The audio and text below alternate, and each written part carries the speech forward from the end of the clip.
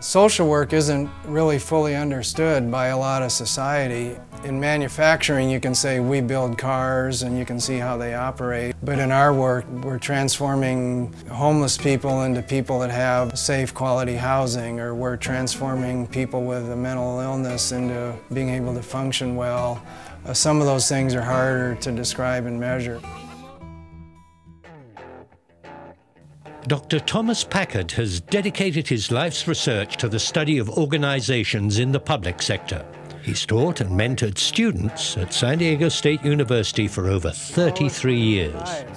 I came here in 1968, and that fall, one of the first things I did was go to a teach-in. I remember at that time, I got a sense that there was a lot wrong with our big institutions, but they were really fixable.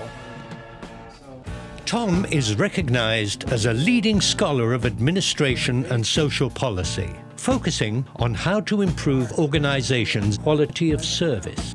Tom was one of the people I remember most regarding my education. He demonstrated a look in his eye that made me see the excitement he had in this, and I knew if I was going to make it in this field, that I was going to need to have that kind of excitement about what I do.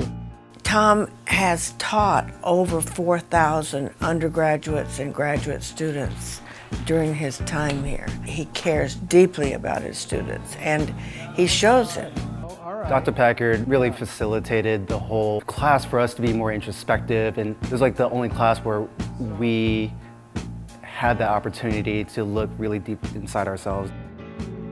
My main job in college was playing in a band. When we were performing, we could build on what was going on and take things to a higher level. And I think the job of a teacher is to show that we're passionate about our work and get them excited about things. And the synergy and the back and forth that you get, that's a lot of fun in a classroom.